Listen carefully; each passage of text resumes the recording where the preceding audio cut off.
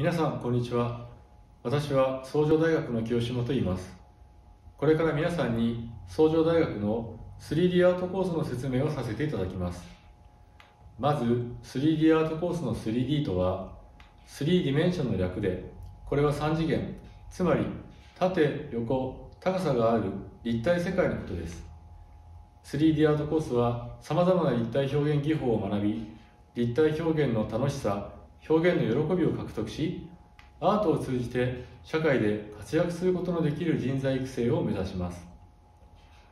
これまで 3D のアート作品というと彫刻を思い浮かべる人がほとんどではなかったでしょうか。もちろん 3D アートコースでも彫刻表現を深く学んでいくことができますがそれ以外に 3DCG の技術とフィギュア造形の技術も学んでいくことができるんです。3DCG というと聞き慣れない言葉と感じる人もいることでしょう。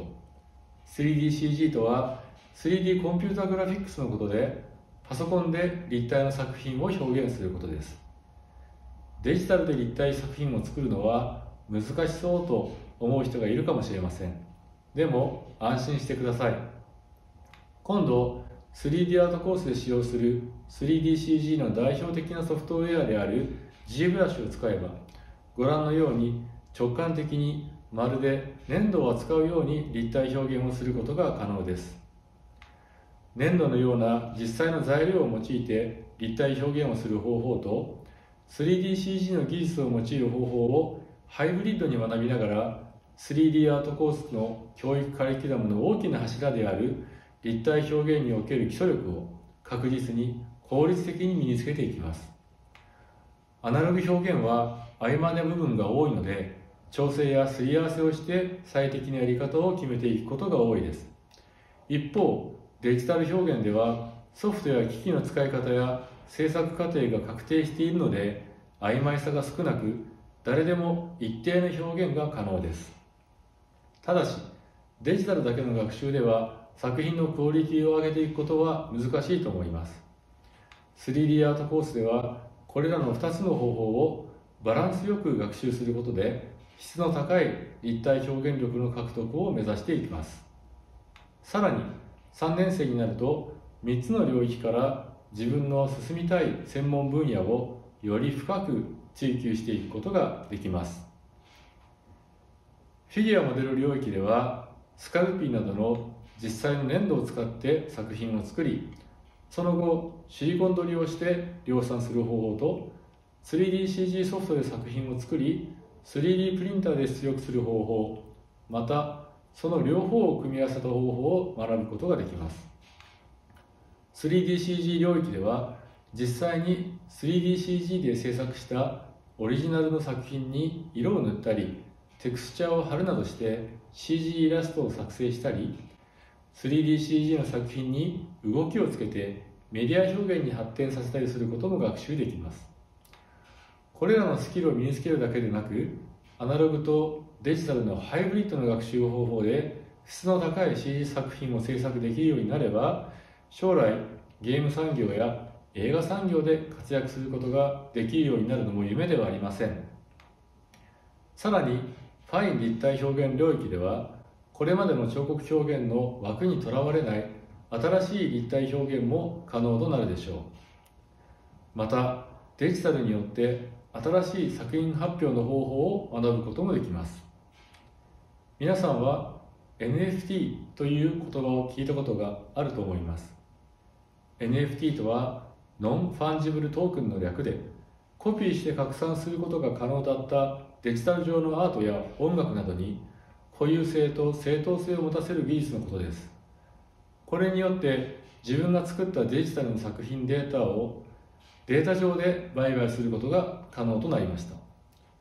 これまで立体表現の作品を販売するにあたってその作品の輸送コストが大きな障害でしたがこれからは自分の作品を海外のコレクターに販売することも可能となります。3D アートコースではこの NFT の技術についても学ぶことができます。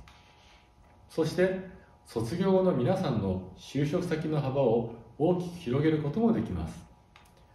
特に 3D アートコースの卒業生の就職先として考えられるのがデジタルクリエイティブ業界です。デジタルクリエイティブ業界といってまず頭に浮かぶのがゲームキャラクターデザイナーや背景モデラーという仕事でしょう。現在日々数多くのゲームソフトが開発されています。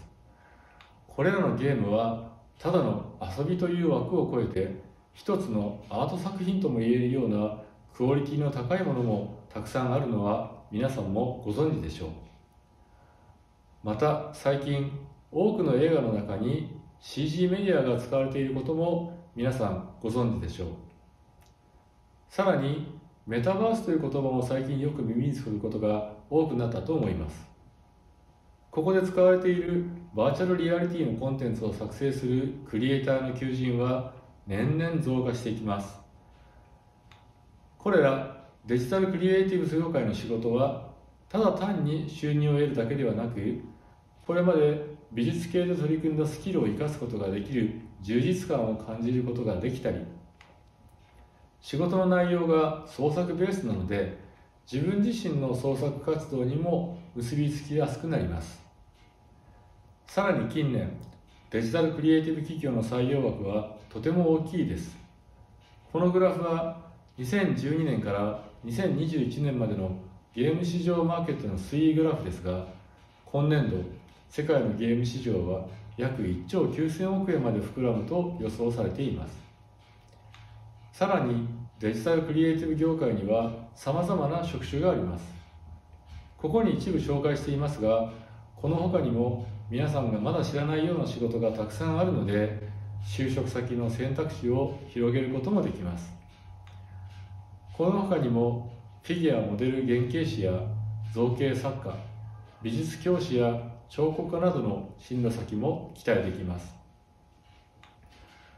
今回 3D アートコースでは各分野の素晴らしい実績を持った講師陣が皆さんの学びを今節丁寧にサポートしていきます。時代が求めるこれからの立体表現の形がここに。創上大学の 3D アートコースをどうぞよろしくお願いいたします。